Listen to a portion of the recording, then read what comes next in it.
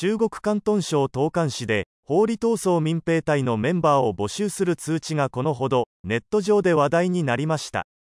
その後上海を含む全国各地でこの民兵組織が設立されていることが明らかになりました。東莞市司法局の公式サイトでは今このお知らせを検索しても表示されなくなりました。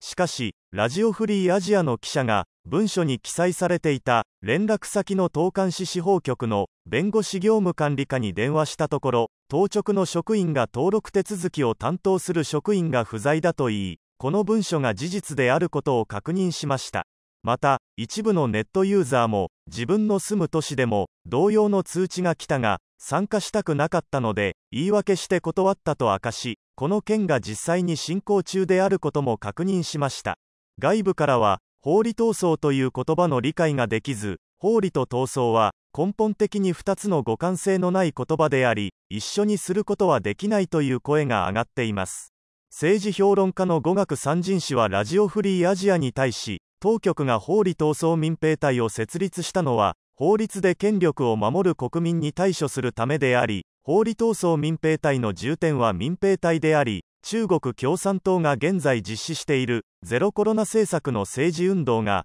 生み出した準軍事組織でこうした組織は国民を弾圧する暴力組織に発展していく可能性が高いと分析しました。東莞市の通知を見ると法理闘争民兵隊は弁護士から募集されたようです。